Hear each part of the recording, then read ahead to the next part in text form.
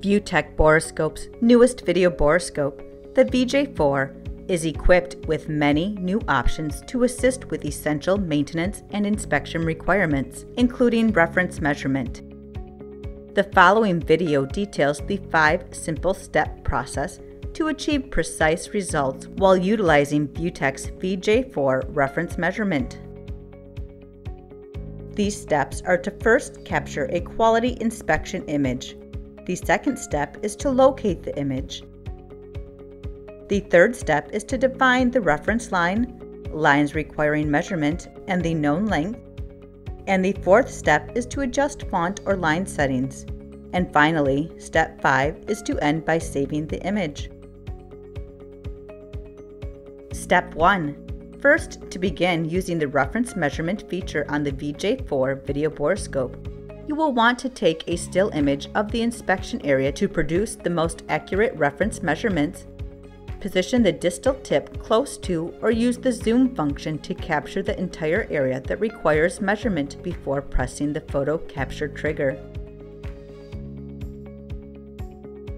As a best practice, it can be helpful to utilize the image annotation function to quickly recognize any images that require reference measurement when searching through numerous files and or folders.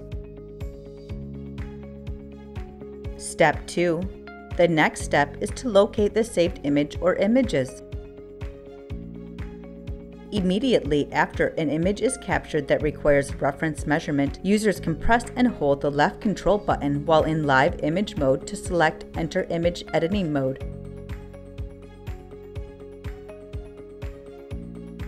If multiple images are saved, it would be easiest to search for an image or images stored by selecting the image browsing icon in the menu navigation screen, locating the image, followed by selecting Enter Image Editing Mode.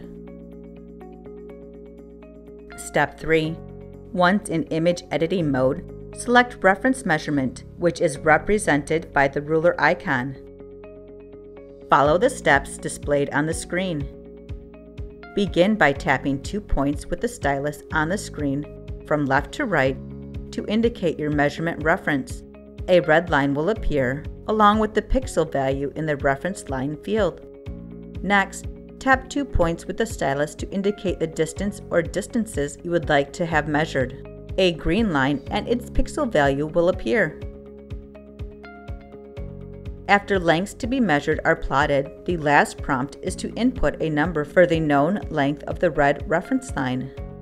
With this example, it is known that the diameter of a penny is 19.05 millimeters.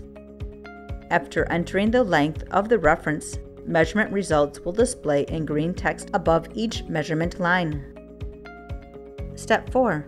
If measurement results become truncated or are too small where the line size needs to be adjusted, users can manipulate the size of the font or lines within the settings icon.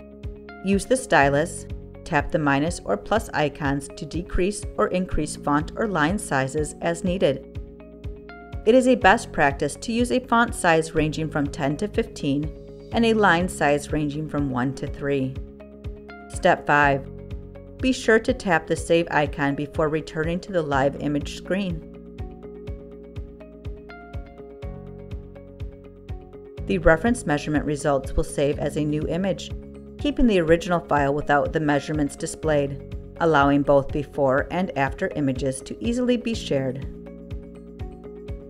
At ViewTech, we understand how important this video borescope is to your business operations.